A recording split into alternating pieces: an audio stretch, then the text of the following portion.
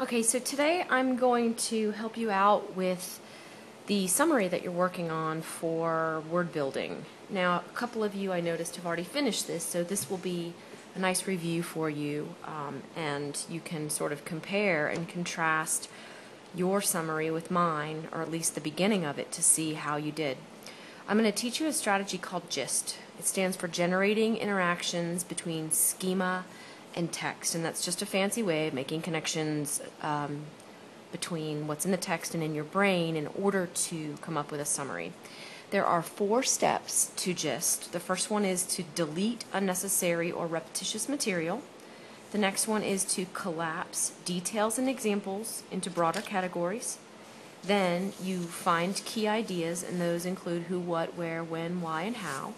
And then you use the author structure. So, depending on how the author put his or her ideas together, that's the way you're going to put your summary together. And some examples of structure include description, enumeration, which is just a list, and that one did show up in this particular article, at least in the introduction.